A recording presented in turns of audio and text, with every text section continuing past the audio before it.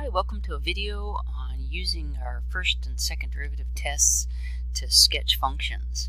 So we're going to start with this function here, and what we want to do is find any maximums, minimums, inflection points, determine concavity, and then get a pretty good sketch of this function.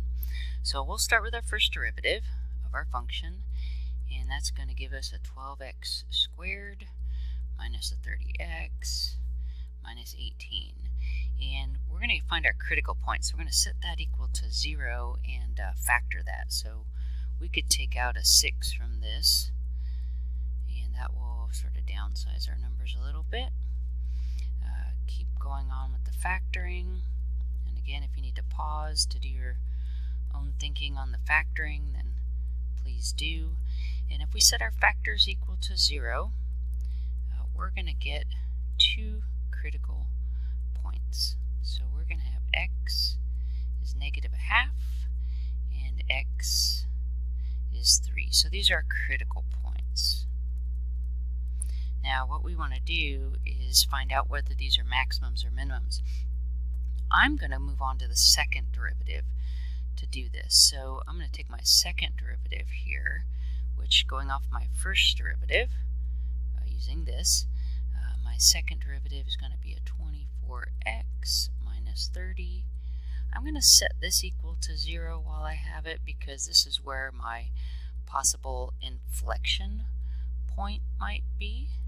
So solving this for x, dividing both sides by 24, I end up, if I reduce it to uh, 5 fourths. So I like to call this my pip, uh, my possible uh, inflection point. I still need to do the testing to find out. Okay, so I've got a lot of points here. Uh, now, what I'm going to do is a second derivative test. And actually, I can use that to determine what all of these points are. So I'm using my second derivative. Mm, let me put 5 fourths on here.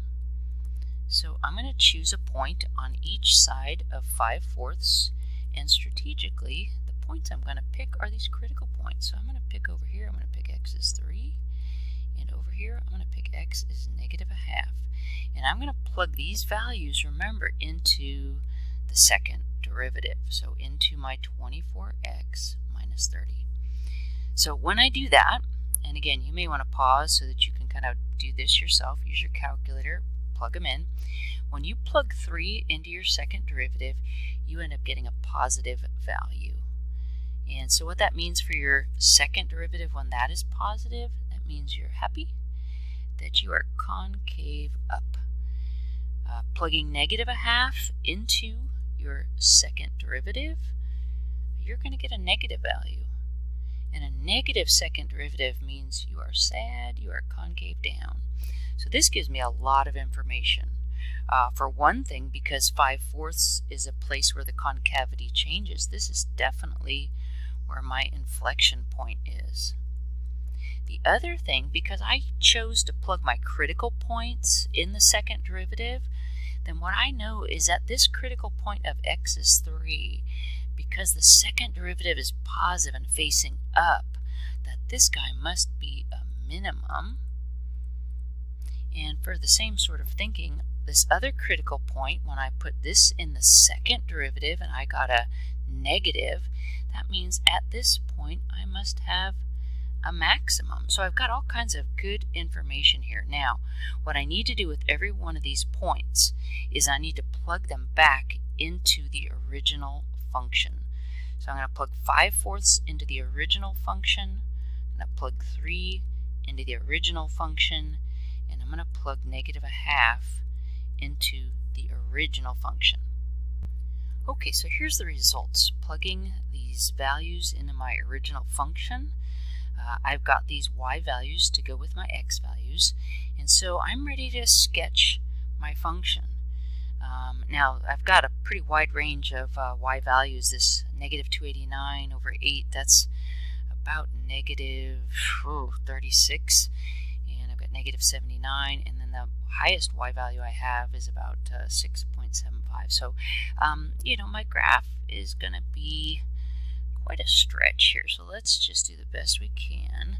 We know that we need our y-axis to go down at least as low as negative 79.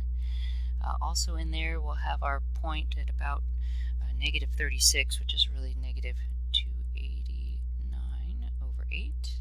And then the highest y value we have, and again, this is not to scale here, is the 27 over 4, which is really about 6.7. Um, so the x values that we need to graph, uh, we need a 5 fourths, which is about 1 and a fourth. Uh, we need to have a x value of 3, and we need an x value of negative 1 half. So I'm just going to plot these ordered pairs on here, and then I just got to connect the dots the right way. So I've got 3, and then my negative 79. I've got 5 fourths, negative 1 half, and then 27 over 4. Okay, I'm kind of right on there. Maybe I can move that 27 over 4 over. So this is 27 over 4, and then this point will be right here. All right, so remember how they connect. We've got concave down on the left of 5 fourths and concave up on the other side. So I'm just going to make a happy face here. And a sad face on the other side, trying to make, again, this is my peak of my sad face. Sad face here. So I have my sad face, so this concave down right here, connecting up to a happy face over here. Uh, now again, make sure your curvature is right. I need to curving up a happy face in this section and flipping to a curving down of a sad face over here. And that would be about the gist of it. I've got my minimum here, my max up here, and I've got my inflection point right here. All right, I hope that has been helpful.